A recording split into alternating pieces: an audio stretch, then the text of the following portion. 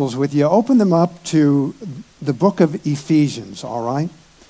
Ephesians chapter 1, and we're going to start in verse 6. Listen, a couple of weeks ago, probably about a month now, the Lord interrupted me in the middle of my seeking Him and really gave me a mandate and said, Michael, I want to establish a culture of hospitality in River of Love. God has given us a mandate to create a culture of hospitality. Doesn't that sound wonderful? It really does. And so I thought, well, that's wonderful. I think we're pretty hospitable as a group of people, but how many of you know we all have room to grow? You know what I'm saying? We've got room to grow. And so we started this series on uh, Valentine's Day, amen? And uh, we started with a series or a, a sermon entitled I Choose You. And we saw that one of the keys to developing a culture of hospitality is having a mindset that constantly says, I choose you. Marcus, I choose you. Okay. And in uh, John chapter 15, verse 5, I believe, Jesus said that you did not choose me, but I chose you. Okay? And so in our relationships, most of the time as we develop a new relationship, we choose someone, but then after a, a period of time in the relationship, we begin to people begin to see our weaknesses and our faults, and so our I choose you turns into a question, and we begin to ask, Do you choose me? Do you still choose me? And you see, as long as we're living our lives with, an, with a do you choose me mentality, guess what? Nobody's being chosen. And we set ourselves up for unhealthy relationships. And so, part of creating a culture of hospitality is, is constantly recognizing that we are chosen and that we have the ability and the responsibility to continue to choose others. All right? The following week, we, we looked at the word hospitality a little bit more, and, you know, we discovered that here in America, when we talk about hospitality, it's kind of like inviting your friends over and rolling out the red carpet, right? And getting out the, the good china and just having a, a good season of having someone over. And, and listen, on one level, that is hospitality, but when we took a look at the word hospitality in the Greek, which I'm not even going to try to pronounce this morning, but when we looked at it, we saw that the definition of hospitality has to do specifically, does anybody remember? It has to do with loving a stranger as a dear friend. Okay? So if we're just inviting our friends and we're just fellowshipping with the people that we know, are we practicing hospitality? No. What's that called? That's called friendship. That's called fellowship. That's called fellowship. So when we are, are engaging strangers and we're treating strangers as a dear friend, literally by the Greek definition, that's what hospitality is. So when God says, I want you to create a culture of hospitality, what does that mean to you? You know, that doesn't mean that we're just going to it's not going we're not going to be an us four and no more church. You know, me and my friend and his two acquaintances. No, we're a church that is going to treat strangers like dear friends. All right? How many of you will be on board for that? Yes. Amen. That means when you look around this room, everybody that you see, you have the opportunity to say, I choose you okay?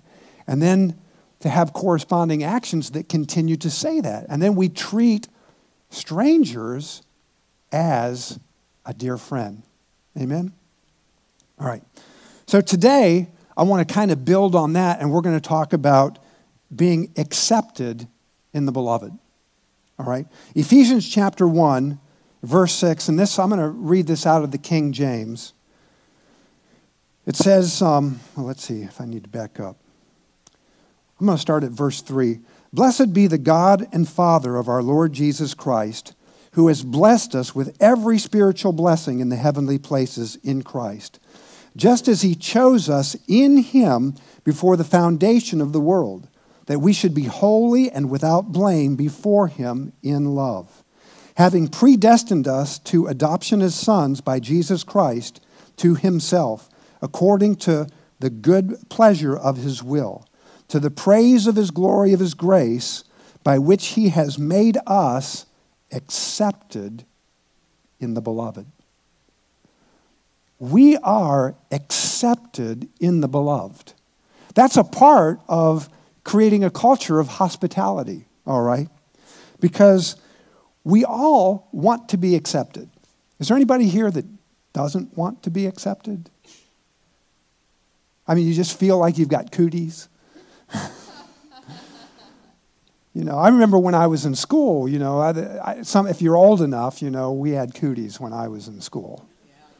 and if you had them, you weren't accepted. you were pretty well rejected, and everybody stayed away from you. But inside of the heart of every individual, we all want to be accepted. There's no individual on the face of this earth that isn't crying out at the deepest levels of their heart to be accepted on some level or another. And we don't want to just be tolerated. We don't want to be accepted just like your taxes to the IRS. Okay? Have any of you got these little emails that say that your taxes have been accepted by the IRS? That's not the type of accept, not, not yet, okay? Hoping for it tomorrow, right? But that's not the type of acceptance that we're talking about. We're talking about an entirely different level of being accepted. When you look in the Greek, that, the, that little phrase, accepted in the beloved, comes from two Greek words. One is, and I will try this, it's charitou, and it's where we get the word grace, okay? Grace is, is the root word there. And the word beloved is the word agapeo. It's where we get the word agape, all right? So to be accepted in the beloved literally means this it means the overwhelming pleasure of God to unconditionally embrace you. How many of you kind of get a sense of what it means to be accepted in the beloved when, when I say it is God's? If, if you met somebody, you know, if, if Adam, if, if I just, well, not, probably you're not the best example. Melanie, stand up. You're a better example. Okay? If I, if an overwhelming, if it's my overwhelming pleasure, it's my overwhelming pleasure to embrace her unconditionally. Woo! I might have to sit down. But, uh, but we need a picture. We need a, a, a picture of what it means. Can you see God pursuing you? He's so accepted you that he, his overwhelming desire is to embrace you. I know way too many people who have an entirely different picture of God. That idea is so foreign because the only thing that they can embrace is the picture of a distant, wrathful, unknowable, unapproachable God. And you can read, if that's your picture, if that's the mindset that you have of God, you will never, ever be able to accept the truth that you are accepted in the beloved. You've got to, you've got to know that. More than just accepted, the Father is pleased. He's pleased to accept you. So, who is the beloved? Hmm? Jesus is the beloved, right? I'm so glad that it di- didn't just say that, you know, Paul just didn't say that, that he made us accepted in Christ.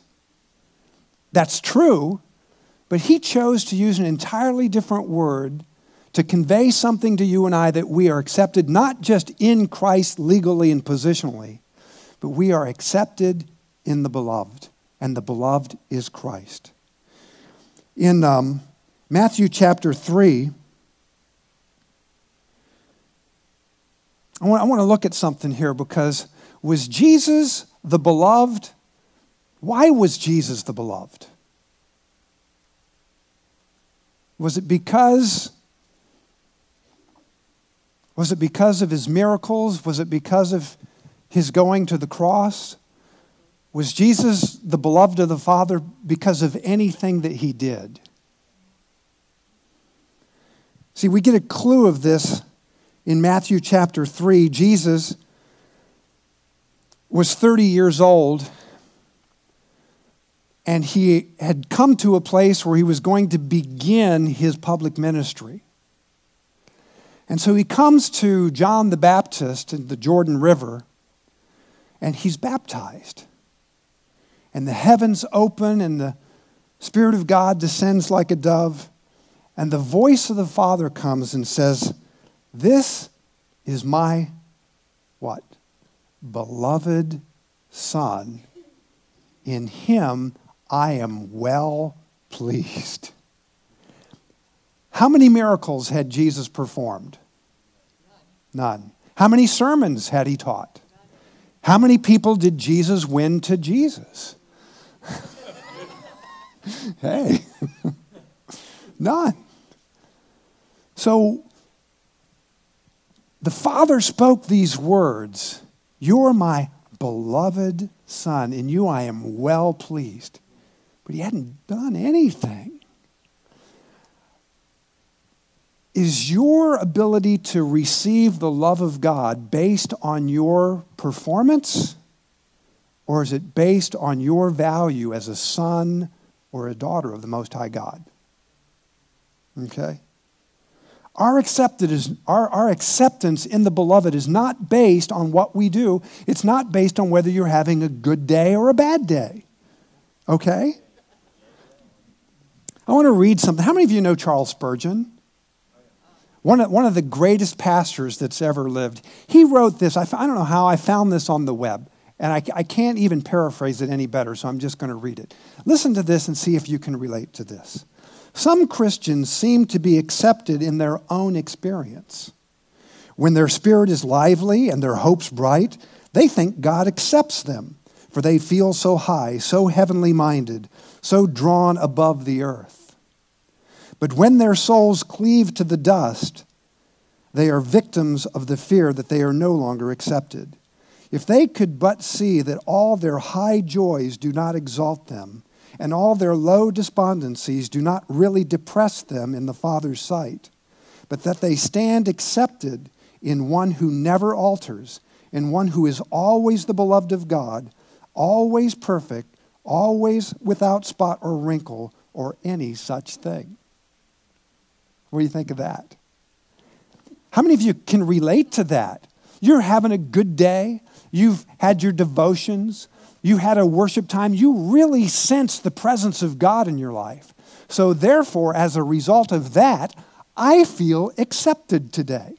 Come on, anybody, anybody there? How about those days when you get up and you feel like a worm? when you feel like, you, like, like you've been run over by the treads of every Mack truck or vehicle on I 95, it's hit you, okay? You get up on those days and your emotions are just saying, this sucks. you know? What did, what did I do wrong?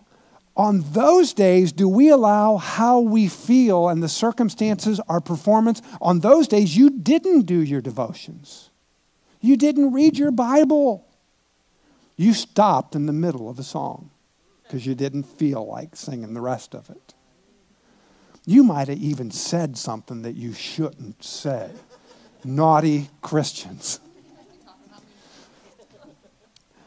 On those days, under those circumstances, are you accepted in the beloved? How many of you are saying that up here, but you're questioning it down here? How many of you are saying the right words, but you're not really sure what the score of the music is? I, I want to say I, but even more than I, God wants you to know that you are accepted in the beloved. You are accepted in Christ, not based on your behavior, not based on how high a day or how well your circumstances are going. You are entirely, always, never, without fail, accepted in the beloved because of who you are. Come on. How many of you have kids and you only accept them when they do the right thing? You disown them, keep those hands down.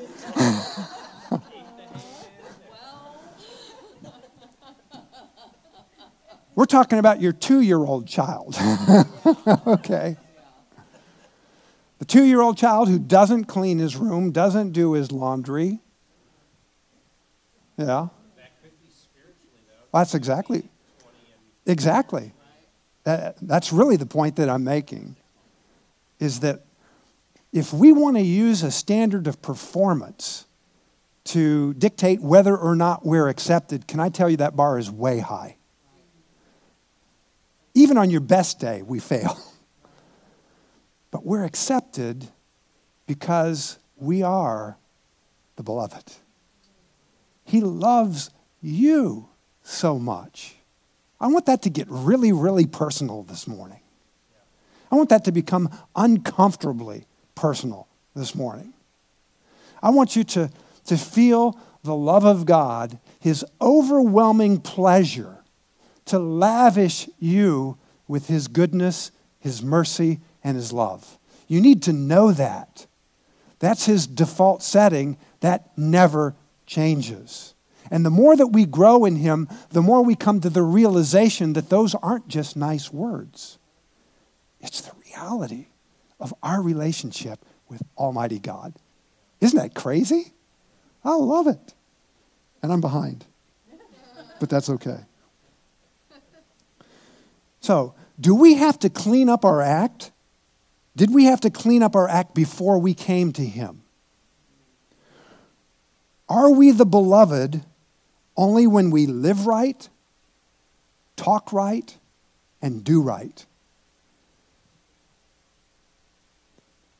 I don't know if any of you remember the cartoon. Any, I was thinking about Dudley Do Right.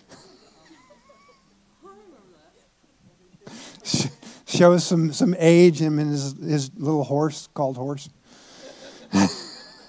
of course. But listen, we live our lives as if we have to do right to be accepted in the beloved. Our performance is never the barometer of your acceptance in the beloved. Our performance stems from a revelation that we're loved. Okay? Been a long time in too many churches where we do the right things because we believe that if we do right, then we will be accepted. And if you don't do right, guess what? The entire, the entire church is there to condemn you and to tell you that you're not right, but you need to get right. And until you do get right, you're, yeah, you're wrong. But not only are you wrong, but you're probably going to, um, what's the word that I'm thinking of? You're going to quench the spirit. You know, don't let a sinner roll up into a church service because they'll sure enough quench the spirit of God. God can't handle that. right. but listen, our performance stems from the revelation that we're loved. When you get a revelation of how loved you are, it will motivate you more than anything else to live holy. You see? Not because we have to, but we want to be like our Father. We want to be like our Daddy God. Amen? And we get to, because He's called us to that. So we are transformed by the renewing of our minds. Romans 12, verse 1 and 2, particularly verse 2, says that we are transformed by the renewing of our minds so that we can prove what is that good acceptable, and perfect will of God. Can I tell you this? That that transformation takes place after you're born again, not before. The transformation, you don't get transformed and then come to Christ. You come as you are, you're accepted in the beloved, and his love and his word changes and transforms us. What does that transformation look like? This was something the Lord just popped in my spirit this morning. Oh, I don't even know what I wrote. okay. As, as our minds are transformed, we become to a great we come to a greater and greater revelation of his unconditional love for you and for others. Maturity in Christ it comes to a place where you're your bubble stays in the center. It, it, it's not about learning more about what the Bible says, even though that's extremely important, but it's coming to a place deep in the core of yourself where what happens on the outside around you and what's happening in you does not affect you because you know that the one who loves you more than anything, that's all that it takes. Does that make any sense? That's the greatest revelation that we can get. Creating a culture of hospitality demands that we receive from God the same unconditional love and acceptance that is freely given. Hello? Maturity means that we accept that, that we receive that, and then in turn, we give that to others. Isn't that nice? You can't give something away that you first haven't received on your own. All right? You'll never bring anybody into a greater revelation of God's love than you're embracing on your own. If you know that you're accepted in the beloved up here, you can tell somebody that. If you know it here, you can show it, you can impart it. That's what God wants to bring you and I into a greater, everybody say greater, a greater awareness of our acceptance in the beloved. If God's called us to create a culture of hospitality, we've got to know that at the very core of who we are. Otherwise, we're going to come across as hypocrites to the rest of the community because we haven't got the revelation of our own. All right? All we know are the words, but there is no music. So, that's what Jesus did, right? That's what he did for us. He accepted us not based on our performance, but based on his value of who we are as being created in his image and likeness. Is this the standard of accepting others, treating others as a dear friend? Is that only reserved for people who are socially acceptable? Okay. Do we accept others based on their race, their sexuality, religious beliefs, or do we accept them the way that Christ accepted them? My question is do we or don't we? Okay. I, want, I just want to challenge us here this morning. What God spoke to Jeremiah in Jeremiah 1, verse 5, where he said, Before I formed you in the womb, I knew you. And before you were born, I consecrated you. And I've appointed you. For Jeremiah, it was to be a prophet to the nations. But can I say that those words are true for every individual in this room? They're true for every individual on the face of this planet. Okay? God knows us, He has a plan, He's appointed us. But the God of this world has blinded the eyes of the unbelieving. They don't recognize the gift that they are. Okay? They don't recognize that they've been accepted. Many of them are looking to be accepted, and they're finding different places to be accepted because they don't feel accepted in the church. Okay? So, do we accept others based on what? Based on their race, their sexuality, their religious beliefs. Let's look at Jesus for a moment. This is amazing to me when I look at Jesus. In Matthew chapter 9, verse 11, my link didn't work, so I have to go there manually.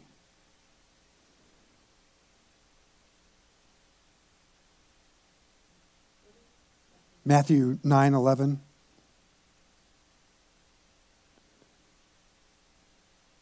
Well, I'm going to start at verse 9. Jesus went on from there, and he saw a man named Matthew sitting in the tax collector's booth. And he said to him, Follow me. And he got up and followed him. Then it happened that as Jesus was reclining at the table in the house, behold, many tax collectors and sinners came and were dining with Jesus and his disciples. When the Pharisees saw this, they said to his disciples, Why is your teacher eating with tax collectors and sinners? Why is Jesus doing this? Would we be willing to do that? When's the last time that you had dinner with tax collectors? yeah, maybe H&R Block or TurboTax, but when's the last time you had dinner with a sinner? Amen? Just a thought. In uh, Matthew 11, Jesus kind of responds to the religious people who are coming against him. And he says, talking about John the Baptist, John came neither eating nor drinking, and they say he has a demon.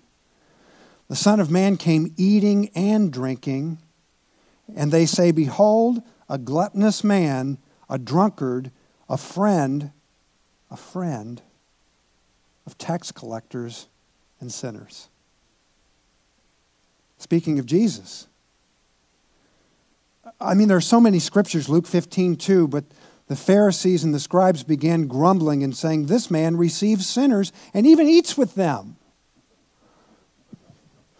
Kick him out of the church, kick him out of the synagogue. Paul said this in 1 Timothy 1, verse 15. It's a trustworthy statement deserving full acceptance that Christ came into the world to save sinners, among whom I am foremost of all. See, did Jesus come with his whip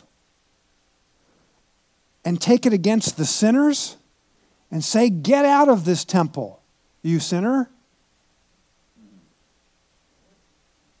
Who did Jesus bring that rebuke to?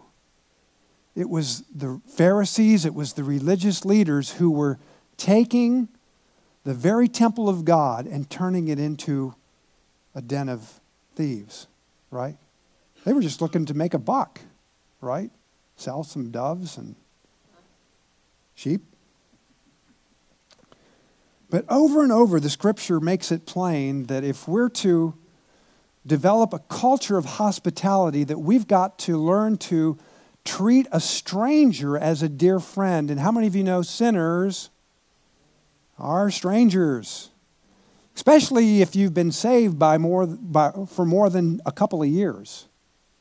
Because the average Christian, after they've been saved about a year, has no relationship no friendships outside of the church or out non-Christian sinner friends. Hello? Anybody in the room? Anybody resemble that? I want to look um, at one particular story that we can draw some conclusions from. And again, I'm sharing these things because God is challenging us. He's given us a mandate to create a culture of hospitality. I saw the hands at the beginning of the message. They were up. All right? How many of you still on board? All right, cool.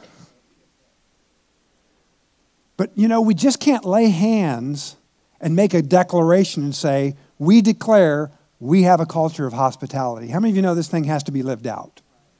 How many of you know some mindsets have to change? Okay? We've got to begin to embrace our community the way that Christ embraced the community, right? And that's going to involve some changes, and things might look a little bit messy to some religious folk. Can I say that just up front? It might. It will. I promise you. Let's look at Jesus in a situation in John chapter 8. Okay? You see, you're going to fall into one of two camps. We're either going to be Jesus with the sinners that we come in contact in life, or we're going to be a religious leader. One or the other. Okay? Some people have a default setting that you're accepted in the beloved. Some people have a default setting of I am going to judge your performance and I will accept you if your performance is right, but I will reject you just as quick if your performance isn't right. Anybody ever meet anybody like that? Anybody ever look in the mirror and see anybody like that? All right. Yeah, I'm not alone. So, uh, John chapter 8. Is everybody doing okay for a few minutes? Still here this morning? Okay. John chapter 8, verse 1 Jesus went to the Mount of Olives. Early in the morning, he came into the temple, and all the people were coming to him, and he sat down and began to teach them. And the scribes and the Pharisees brought a woman caught in adultery. And having set her in the center of the court, they said to him, Teacher, this woman has been caught in adultery in the very act. Now, in the law of Moses, commanded us to stone such a woman. What do you say? How many of you believe that the scribes and Pharisees were creating a culture of hospitality? okay? Pretty plain. This woman didn't just come up and say, Hey, I'm sorry, I was feeling, I, I feel convicted. I just want to announce that I, I'm caught in the act of adultery. Take me to your leaders. Stone me. All right, that wasn't what happened. I, I probably could guess that there was probably a Pharisee or a religious leader involved in the act of adultery themselves. Okay? So they came to, to Jesus and said, What do you say? And they were saying this to test him so that they might have grounds for accusing him. See, the religious leaders had already come with the death sentence. They were coming trying to trick Jesus because if Jesus upheld the law of Moses and said, stone her, well, then the people would turn against him. But at the same time, if Jesus said, no, we're just going to accept her, everything's okay, let's just be kind and nice, then they would say, but what about the law of Moses? So it seems like kind of a catch 22, doesn't it? But how many of you know Jesus always has a word?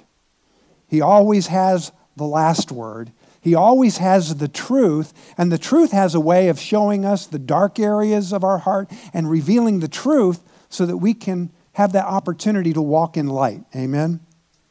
So, when the religious people came and they brought this accusation, they said, Jesus this woman was caught in adultery. Moses, the law of Moses says, says what? Says stone her. Why? Because what's, what's the law that she broke? One of the Ten Commandments? Which one? Thou shalt not steal. Thou shalt not lie. Thou shalt not fool around with another person, another, another feller's gal. Right? That's, that's from the hillbilly Ten Commandments. But thou shalt not commit adultery. That's one of the big ten, right? And so Jesus says, listen, okay, let's play your game. The standard is the Ten Commandments. So what does Jesus do? Jesus stoops down and with his finger began to write on the ground. I think this is so insightful. At least I'm going to share with you what my perception of this is. When was the last time that the finger of God, that the finger of God reached down and wrote on the ground? Okay, that's one place, yeah. But let's go to the very first place in Exodus chapter 20 when Moses is up on the mount, because you see, they're, so they're saying, Moses, you, you, sat, you went up on the mountain and the finger of God wrote the Ten Commandments, and this is one of them Thou shalt not commit adultery. So, what does Jesus do? Jesus gets on the ground and he takes his finger and he begins to write. What do you think he's writing? You see, he's saying the standard that you want to use to accept others is the Ten Commandments. So let me write a few of them down for you. You shall have no other gods before me. You shall not make idols. You shall not take the name of the Lord your God in vain. Remember the Sabbath, keep it holy. Honor your father and your mother. You shall not murder. You shall not steal. You shall not lie. You shall not covet. I believe the first one that he wrote on the sand was, Thou shalt not commit adultery. And I'm sure that every one of the scribes and Pharisees were going, Yes. But then he, he didn't stop, he continued to write. And the same standard that they used to condemn this woman began to convict and condemn their own hearts. Are y'all following me? So, my question is well, let's finish. But when they persisted in asking, or he stooped down and wrote, verse 7 But when they persisted, persisted in asking him, he straightened up and said to them, He who is without sin among you, let him be the first to throw a stone at her. So he said, We'll play by your standard. This is the standard. Now, he who's without sin, he can cast the first stone. I can see him lining up. Not. There was only one person there that was qualified to grab a stone. Only one. Do you, do you know who? Jesus. Jesus was the only one, if the standard of accepting and condemnation was the law, Jesus was the only one who had a legal right to grab that stone and throw it. And so he again stooped down and wrote on the ground. This is probably when he wrote the rest of the ten. And when they heard it, see, he was writing on the ground, but they heard something. They heard their own conscience, their own, their own, the voice of their own spirit began to condemn them. And they, beginning with the older ones, began to go out, and he was left alone, and the woman was there in the center of the court. Straightening up, Jesus said to her, Woman, where are they? Did no one condemn you? And she said, No one, Lord. And Jesus said, I do not condemn you either. Go, from now on, sin no more. That is such a powerful story. How does this translate into the world and the community that we live in today? What does this have to do with creating a culture of hospitality? Are we on, as Christians, are we on a witch hunt for sinners? Are we on a witch hunt for individuals who are committing adultery? Are we on a witch hunt? Let me get real personal here. Are we on a witch hunt for homosexuals? Are we on a witch hunt for drunkards? Are we on a fill in the blank with your favorite sin? As a church, are we creating a culture of hospitality or are we on a witch hunt for sinners? Okay. Kind of quiet in the house here this morning, but sometimes you have to go here. Sometimes you have to go here. Do we judge people as Christ judged them, or do we judge them as the religious leaders? Do we judge people as Christ judged them on the cross? Can I tell you that this building is not the church, and this building will never show hospitality? People will never come in and just say, Man, I just feel so loved.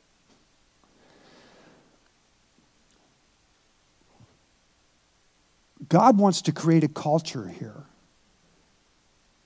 Not just here, but in our hearts, because you see, we can accept people that come in here, but where are we when we meet people on the streets? What happens when you meet an individual who's caught in the act of your favorite sin, or you find out that they're a sinner? I'm telling you, God has a way of working with the hearts of individuals. The Bible says very clearly it is the goodness of God that leads men to repentance. It's the goodness of God that causes us to change the way we think. Not just us, but the sinner too, all right? How many of you know in your own life it's the goodness of God that caused you to change the way you think? We're changed by His goodness, we're changed by His love. Do we love sin? No. Do you think that Jesus loved sin? With the woman caught in the act, act of adultery, did he condemn her? No. Did he love her? Yes. Did he sanction her sin? No. You see, this is, there's a line that we've, we've got to begin to identify. Do we love sin? No. Do we love the sinner? Yes. Even as Christ did. And I believe that Acts chapter 8 gives us the perfect picture of how to demonstrate the love of God. How did Jesus love this woman caught in the act of adultery? He valued them, valued her so highly that he lost sight of himself and willingly and joyfully gave himself for them without regard for his own reputation. Okay? That's how Jesus walked this love out. And you see, when that's what our heart is, when we know that we're accepted in the beloved, and it, it's beyond just mental assent, when, when that's a, a, a, solid foundation in your life, then you're not going to be rocked off your boat when you meet somebody that's a sinner in the world. But if that's not a solid foundation in your own life, you're not going to know what to do. You literally won't know what to do. And you'll say, Well, I think the Bible says stone him. And I want to be obedient to God, so I mean, I really don't want to do this. If it, if it was just me, I'd, I'd accept you, but you know God doesn't because that's a sin. So I regret this, but, but hand me a rock. you see, if our heart is that way towards a person, why don't we understand the heart of God any better? Why don't we understand that as individuals in Christ, we're accepted in the beloved? But from that place, every one of us is on a journey of transformation. Every one of us. And that transformation comes from a revelation of the goodness of God. Amen? So the price has already been paid. God's love is already poured out. Romans 8 1 says, There is therefore now no condemnation for those who are in Christ, for those who are accepted in the beloved. There is no condemnation. But as many as are led by the Spirit of God, they're the sons of God. So if you're a son of God accepted in the beloved, you're going to be led by the Spirit of God. The Spirit of God is not going to lead you into sin. Right? And if He does, then when we come to individuals, we don't come with a, with a whip and a chain, but we come as brothers and we come with the Word of God and we steer a brother and sister and we instruct them in the way they should go. Okay? How many of you think that your approach makes a big difference? Yeah. 2 Corinthians 5:17 Therefore if any man is in Christ he is a new creation. Old things have passed away behold all things have become new. Paul said, I don't know any man according to the flesh. Okay? There is a place where we begin to see people the way that Christ does. Amen? In order to develop a culture of hospitality, we have got to choose others. And we just can't choose people that are easy to choose. We've got to choose people who have cooties.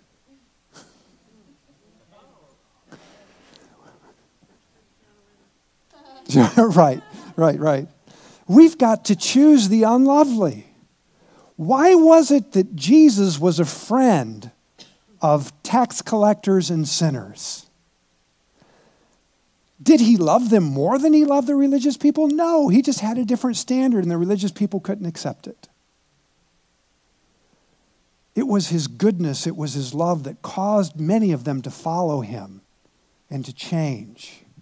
And not everybody changes on a dime. How, how many of you are still a work in progress? All right? I'm almost, gosh, it's scary. I'm going on 40 years on this journey. And the, and the knife is still sharp. He's still working on me. Ought to be. I don't even know how the rest of it. The sun and the, yeah, it took him just a week to make the moon and the stars, but he's still working on me. Whoa! so if he's still working on you, why do we only give some other people a day to get their act together? All right? If he's still working on me, he's still working on you. All right? And iron sharpens iron. Listen, there's a culture that God wants to create. And I hope this morning challenged you on some levels. It challenged me. I mean, we're hitting right up against some big religious topics, you know what I'm saying? But do we want to really have the heart of Christ? Then we've got to lay everything aside and we've got to see people the way that Jesus does. We've got to be able to embrace people who are the adulterers of our day and we've got to be able to love them and recognize listen, if the standard is the law, the Bible even says in Romans chapter 4 that the law brings about wrath. But where there is no law, there is no violation. So we need to recognize that the law had a purpose. The law was to bring us to Christ. But now that we've received Christ, we're not under the law. Now we're the beloved. Now we're in relationship. Now we're led by His Spirit. And there's freedom. Not freedom to sin, freedom from sin. Okay? There's freedom to love without restriction. Amen? Amen. Amen. Let's go ahead and stand this morning. All right, guess what? We're all going to have uh, an opportunity to practice this this week. all right? Don't you love this? God is creating a culture of hospitality because He's the potter and we're the clay, and He's saying, This is an area that I'm wanting to focus on right now. It's important. Amen because he's still working on me. Hallelujah. Well, let's pray. Father, we just want to, God, we want to examine our own hearts this morning and come to this stark reality, Lord, that there are times in my life and in my walk where I've not always acted the way that you do. There have been times where in my heart I've thought that I was so right but in my so rightness, I was so wrong. There were times, Lord, when I, I looked at people and I judged them because that's what the media and everybody else says we're supposed to do. And I've, I've been so thankful that I'm not like everybody else. And I've not loved, Lord God.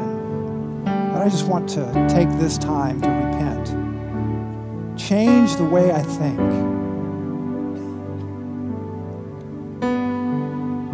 God, I pray that you would so baptize us in our love, in your love.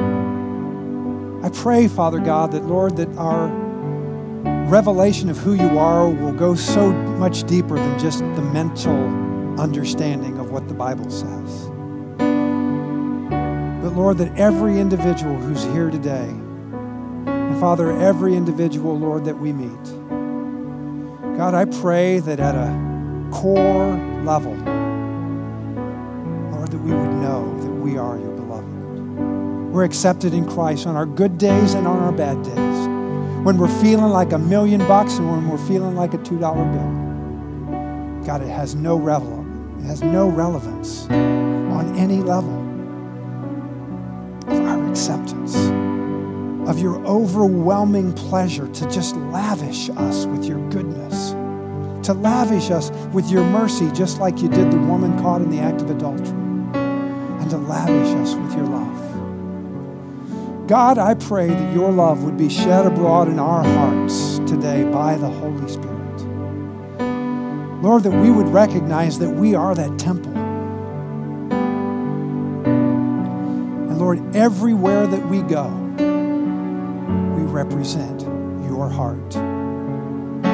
God, give us the boldness to stand up and to, to be your ambassadors in the world today. Lord, you need ambassadors. And Lord, we want to roll out the red carpet for sinners. We want to roll out the red carpet for those who aren't like us. Lord, it's the only way that they're going to know your love is if they rub shoulders with the Son who lives and abides inside of us. God, we want to say yes to you. We want to say yes to sinners who are lost God, we want to afford the same grace to others that you have afforded to us and that you continue to bestow upon us every single so, Father, today we, we put the line in the sand. Or maybe we get rid of the line in the sand. Maybe that's what we do. Lord, we want to accept others as you accepted us. And Lord, in that experience, we want to say no condemnation, most godly sort of way, God teach us how to say, go and sin no more. Help us to find the greatest pleasure in